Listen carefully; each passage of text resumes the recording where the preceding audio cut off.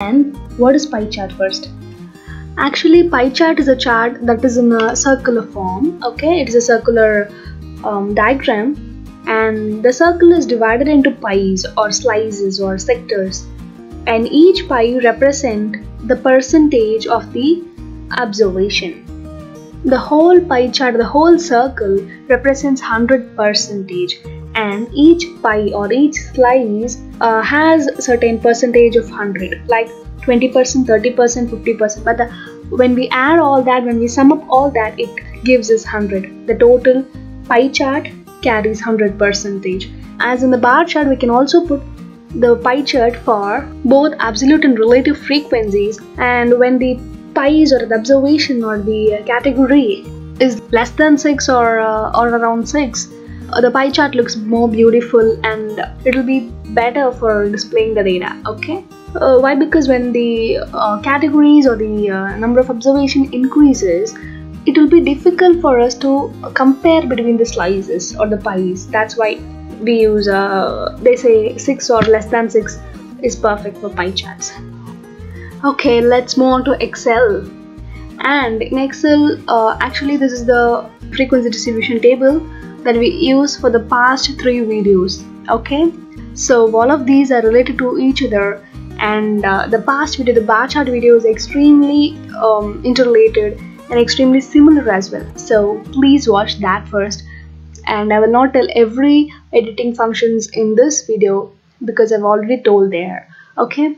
And here and now I'm going to select the group column the relative frequency column and uh, go to insert charts pie chart. Yeah we have got it. And nothing to explain about this and that's all uh, in excel. Let's move on to spss and yeah in spss it's nothing but as usual go to analyze descriptive statistics frequencies.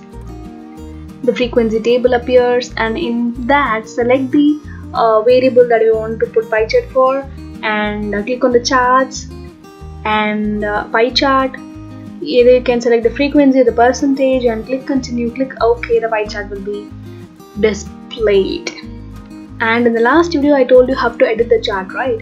So I'm not going to repeat it again and again. So uh, I have given the link in the description box below as well as you can directly go to the video by clicking on the link that appears on the top. Okay? So that's all in SPSS now let's move on to R so I'm now in the R environment and here what I'm going to do is as, as I did in the past two videos I'm going to assign a variable to the group column in the students performance data set because I'm going to put a pie chart for the column group okay?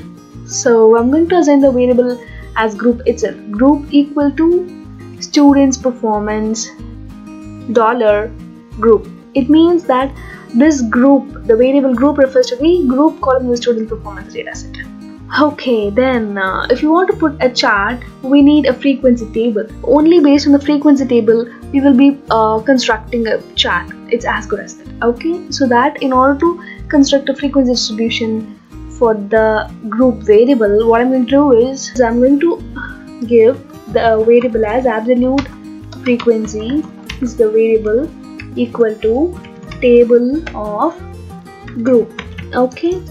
And the relative frequency frequency equal to prop dot table of absolute frequency.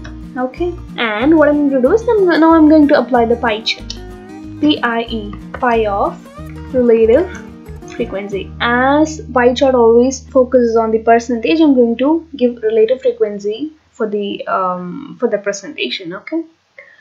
A pie of relative frequency and let's see the difference. Here we can uh, look at the chart. Actually the values are not given not represented in this chart but we can make it visible okay? Press the up arrow in, instead of typing it every time comma I'm going to give the labels. Labels is equal to nothing but relative frequency again. So uh, the percentages will appear okay i hope so. But the values are in proportion. As i said before in one of my videos the relative frequency can be represented either in percentage or in proportion. Here it's uh, represented using proportion. So when you add all these the total will be 1 the total will be equal to 1 okay? So in order to convert this proportion into frequency we have to multiply these values into 100 so what i'm going to do is i'm going to assign a variable called percentage. Percentage is equal to relative frequency into 100 okay let's try changing the uh, label. Labels equal to let me give percentage.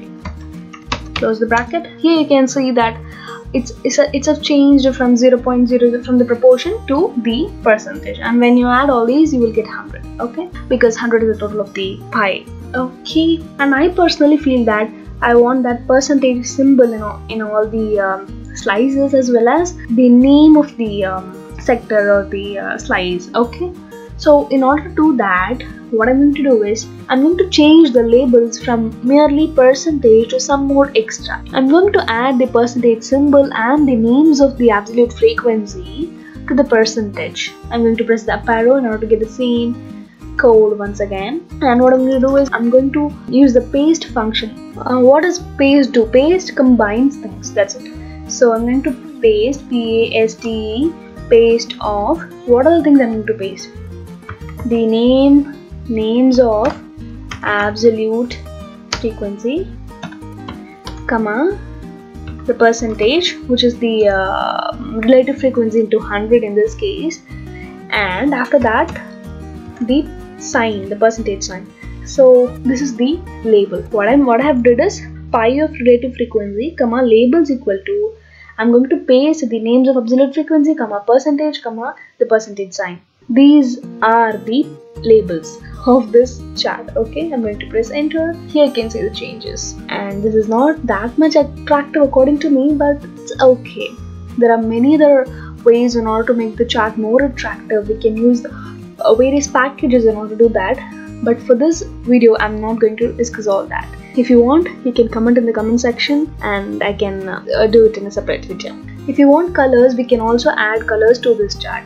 There is nothing but col equal to as I did in the previous video we can use rainbow vector rainbow of 5 here you can see the changes or else you can use a different color C I'm going to give a vector. C is a vector of colors. Okay. C of I'm going to give yellow pink red um, dark blue green